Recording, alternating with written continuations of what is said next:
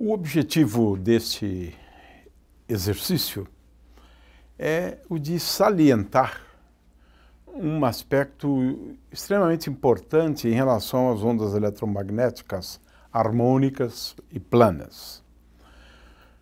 Se eu tenho uma onda eletromagnética plana, harmônica, numa direção e num sentido indicados pelo vetor de onda k, a gente pode mostrar, utilizando o fato de que o divergente do campo B é igual a zero. E o divergente do campo E é igual a zero, estou falando de ondas se propagando no vácuo. A partir dessas duas condições, nós, ao escrevermos que E é igual a E0 vezes E elevado a I K escalar R menos ômega T e B igual a B0 vezes E elevado a I K R menos ômega t. Aqui eu escrevi as expressões para duas ondas, ou melhor, escrevi as expressões para uma onda plana, monocromática, e nessa onda nós temos campos elétricos e magnéticos oscilando, e utilizando esta condição aqui, calculando o divergente de B, ou seja, derivando d dx de ex mais dy dy mais dez dz igual a zero, bem como a mesma coisa com respeito ao campo B. Então, tenho dbx, dx mais dby, dy mais dbz, dz igual a zero. Nós vamos concluir a partir destas duas equações que o campo E é perpendicular a K. E escalar K é igual a zero e vou concluir que B escalar K também é igual a zero. Essa condição, ou essas condições, né, implicam a transversalidade da onda eletromagnética. São ondas transversais. Ou seja, os campos elétricos e magnéticos oscilam num plano que é perpendicular a cá. Por exemplo, o campo elétrico pode estar com esta orientação. E nós vamos agora mostrar que o campo elétrico, ele já deduzimos aqui, ele é perpendicular a cá, e agora nós vamos mostrar que o campo magnético é perpendicular a ambos, ao vetor K e ao vetor E. Portanto, se eu tenho aqui K vetor E, o campo magnético, ele é a rigor, né, se esses dois estão aqui no plano, o campo magnético é perpendicular ao plano. Por quê? O campo magnético é perpendicular a ambos, a K e E. Portanto, grosso modo, podemos dizer que esses três campos, num caso onde esses dois não estão num plano, né, nós temos essa situação. Ou seja, o campo elétrico é perpendicular a K, o campo B é perpendicular a K e E, né? e, portanto, eu tenho aqui três campos, ou melhor, eu tenho três vetores ortogonais entre si, o vetor E, o vetor B e o vetor K. Ora, como é que eu posso deduzir isto? A gente faz uso das outras equações de Maxwell. Ou seja, vamos considerar primeiramente o caso em que eu tenha um campo magnético que varia com o tempo e de acordo com esta equação de Maxwell, a variação do campo B dá origem a um campo elétrico. E esse campo elétrico é tal que o rotacional de E é igual a menos dB dt. A outra equação é a seguinte: o rotacional do campo B é igual a μ0 vezes ε0 vezes dE dt. dE dt. Então aqui eu tenho duas equações. Agora, isso aqui é a mesma coisa que 1 sobre c ao quadrado vezes dE dt. É DDT. Muito bem. Essas aqui são umas leis. E vamos então determinar um, uma relação entre E e B primeiro, e depois uma relação entre B e E. Né? Ora, qual é a diferença? Vamos começar por esta equação aqui. Se eu derivar B com respeito ao tempo, eu vou obter que então, menos dB dt, derivando aqui explicitamente, né, eu tenho que o resultado é e ômega, porque eu tenho menos aqui, com menos lá, fica mais. Então, I vezes ômega vezes B.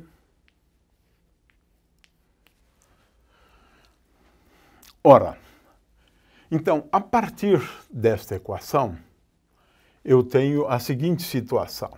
I vezes ômega vezes B é igual ao rotacional de E. Consequentemente, aqui eu tenho uma relação entre B e E. Ou seja, B é igual ao rotacional do campo E dividido por I ômega. Então, essa aqui é a primeira relação. Né? Aqui é a primeira relação. A segunda relação, ela vem daqui, ela pode ser extraída a partir daqui. Ora, dE dt é igual a menos I ômega. Então, a segunda relação é dE dt igual a menos I ômega, portanto, a segunda relação é E é igual a C ao quadrado, C ao quadrado, e aqui eu vou colocar menos I ômega. Isto porque 1 sobre c ao quadrado vezes dE dt é igual a menos i ômega vezes e. Claro que tenho também aqui o c ao quadrado e, consequentemente, a segunda relação é e é igual a c ao quadrado menos i ômega vetor b. Vetor b. Portanto, eu tenho aqui duas relações simples né, entre os campos E e B. Ora, o problema em ambos os casos né, consiste em determinar o rotacional, né, tanto de E, que é importante para esse caso aqui, quanto de B.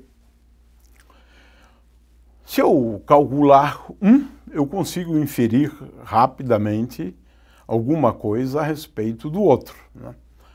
Ou seja, basta calcular o rotacional de E e eu vou conseguir inferir uma expressão para o rotacional de B. Então vamos calcular né, o rotacional do campo E. Ora, o rotacional do campo E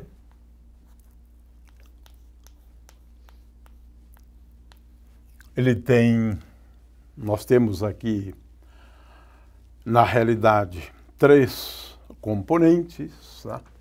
A primeira é d dx, ou melhor, vamos começar com a componente x. Tá? Então, para a componente x, eu tenho d dy de ez menos d dz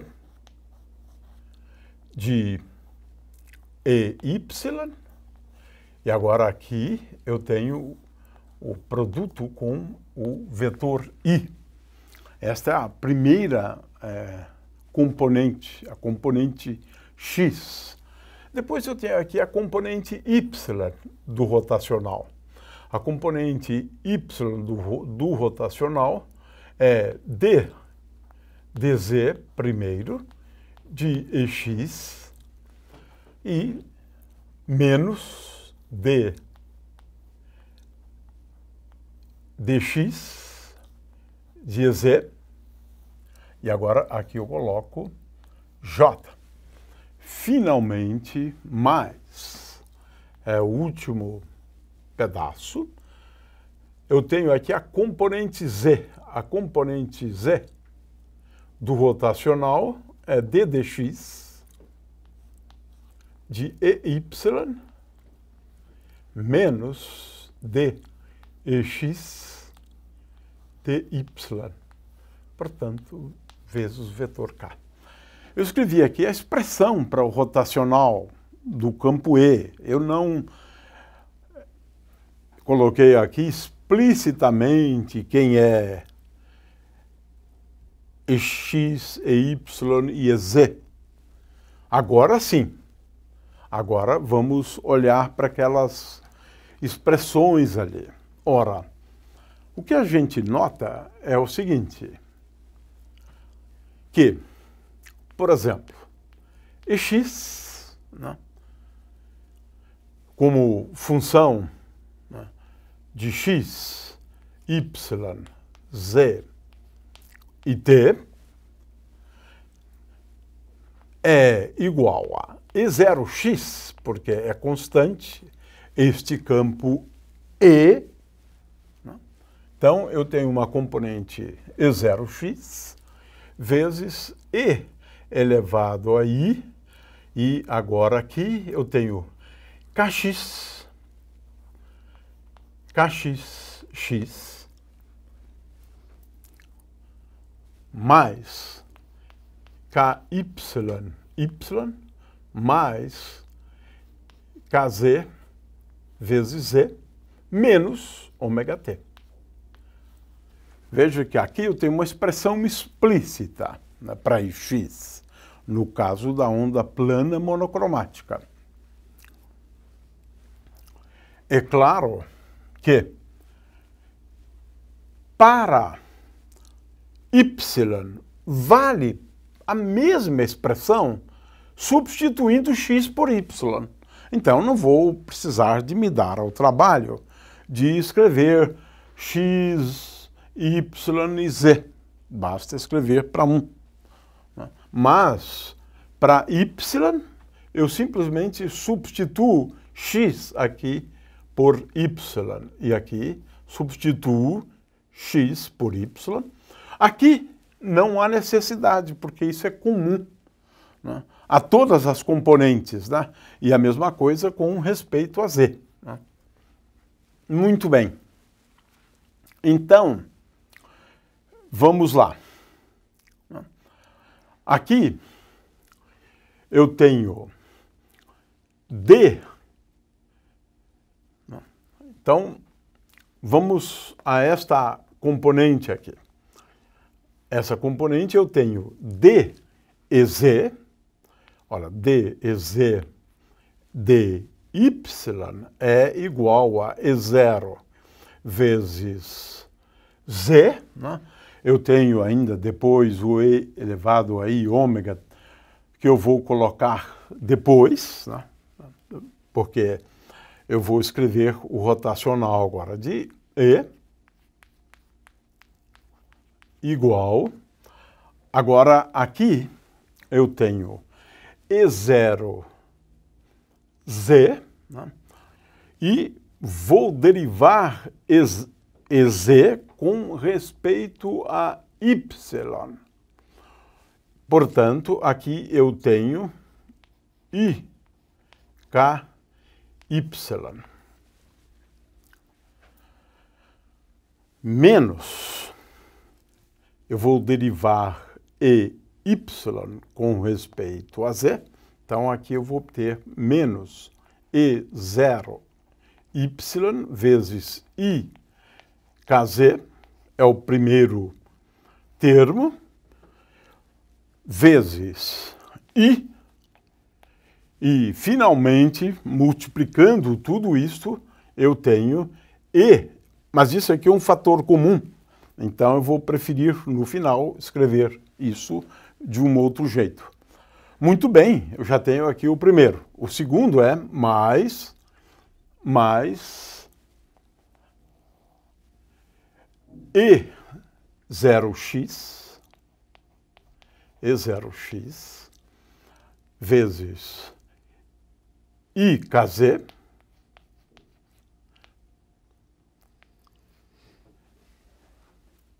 O segundo é menos E0Z vezes IKX vezes J mais, mais o último termo, que é E0, Z, ou melhor, E0Y, vezes IKX menos E0x vezes IKY? E isto tudo vezes K. Agora, isto tudo, isto tudo, vezes, vezes, E elevado a I vezes K escalar R menos ômega t.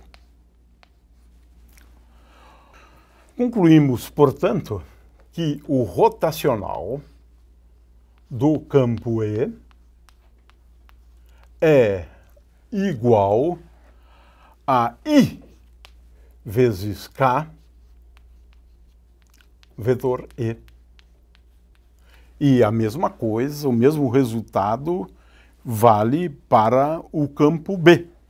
Ou seja, o rotacional do campo B é igual a I vezes K vetor B.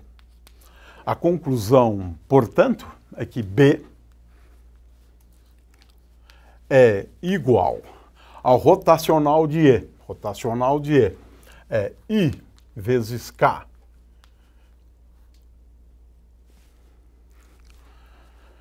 O rotacional de E é igual a I vezes K vetor E dividido por I ômega. Ou seja, B, resumindo, B é igual a K vetor E sobre ômega. Este é o primeiro resultado importante. O que, que isso significa? Que B é perpendicular a K e E de forma que o campo B é o produto vetorial de K com E. É perpendicular tanto a K quanto a E. Ora, qual é o segundo resultado, uma segunda relação? Né? Ela deve ser extraída daqui. Né? Ou seja, o campo elétrico é igual a C ao quadrado, né? dividido por menos I ômega, menos I ômega, esta segunda relação, vezes o rotacional de B. Rotacional de B. Mas o rotacional de B é igual, então tenho aqui C ao quadrado, menos I ômega, e o rotacional de B é igual a IK vezes B. IK vetor B. IK vetor B. Cancelo o I, o I, e eu concluo a segunda relação, que E é igual a C ao quadrado com o sinal menos aqui.